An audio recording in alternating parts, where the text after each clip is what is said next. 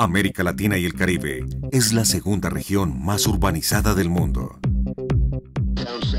Y del clima pasamos al reporte del tráfico hoy en la capital de la República. Y como ya es costumbre, todas las principales avenidas de la ciudad presentan gran flujo vehicular.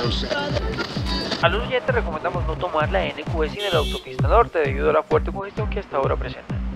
Hemos pasado de una tasa de urbanización del 64% en 1980 al 79% en 2010.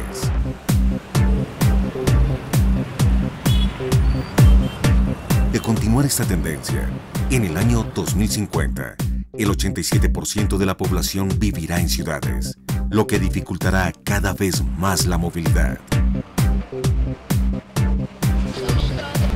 Estamos en el momento perfecto para buscar otras alternativas laborales, en donde el trabajador no tenga que desplazarse todos los días a una oficina, no tenga que enfrentarse a toda esta... En Bogotá, se realizan 9 millones de desplazamientos diarios, de los cuales cerca del 50% son por motivos laborales.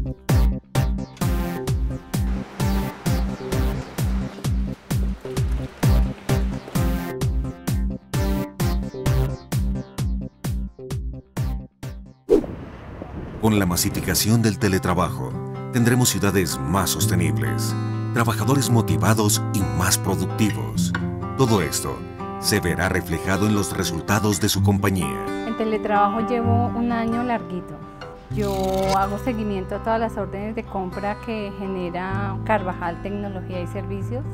El hecho de, que ellos llegaran y, y me encontraran aquí, pues para mí es una alegría muy grande porque pues yo tengo varios hijos y no tuve esa oportunidad con los otros hijos.